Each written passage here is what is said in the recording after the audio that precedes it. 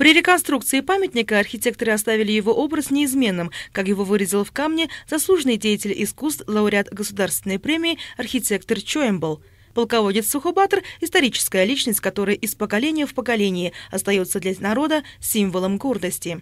Глава правительства Монголии в своей речи на церемонии открытия подчеркнул, что Сухобатор – это человек, который посвятил свою короткую жизнь борьбе с иностранными агрессорами, не жалея себя ради свободы и независимости своего народа. Воздвижение памятника Сухобатору является одним из выражений огромного уважения всего монгольского народа всем патриотам, которые отдали свои жизни в борьбе за свободу и независимость нации. На открытии монумента присутствовали первые лица страны, руководство Министерства обороны и вооруженных сил, представители Монгольской народной партии. Кроме того, открыть обновленный памятник и почтить память своего великого деда прибыл внук полководца.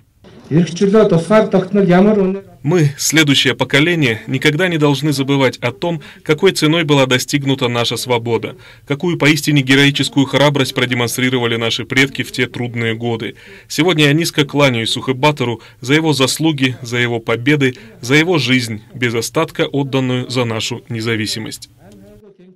В 1921 году, после освобождения столицы Монголии, именно с этой площади полководец Сухобатор выступил с обращением к народу. Через 25 лет, то есть в 1946 году, на этом месте ему был воздвигнут памятник. Это первая полная реконструкция за все 65 лет истории постамента. Покой теперь уже бронзового сухобатора охраняют 14 львов, высеченных из природного гранита. Салангоним, Бояр, Виктория Алзоева, Аист, Монголия.